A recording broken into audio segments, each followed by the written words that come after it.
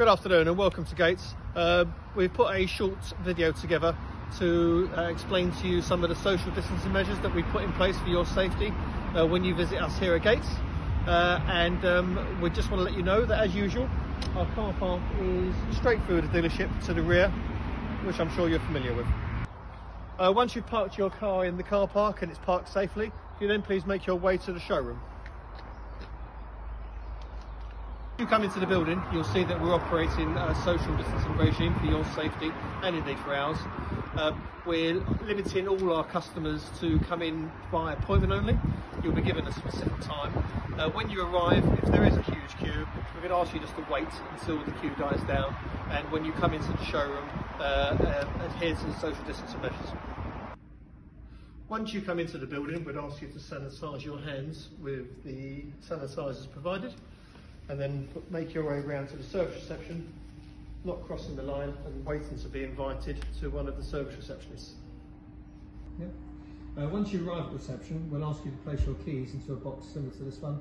Uh, we'll sanitise the keys before we hand it to our technician. Uh, the same process will be adhered to before we give the cars back to you.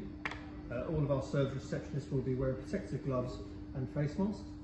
Uh, we're also operating a cashless system throughout this uh, period, so we won't take any cash. We would ask you to bring your debit or credit card. Uh, we're also uh, operating uh, an absolute bare minimum of paperwork where possible. Uh, so we will be sending you any vehicle health check and your subsequent invoice uh, via email. So if we haven't got it, if you could please remember to bring your email address with you, that would be very useful. Thank you very much. Okay, once we have your keys and we're putting your key into the work, your car into the workshop, our technicians will sanitise the car beforehand by wiping the door handle and then once it's inside the car, the interior door handle, steering wheel, gear knob, handbrake and any other touch points in a similar fashion to this.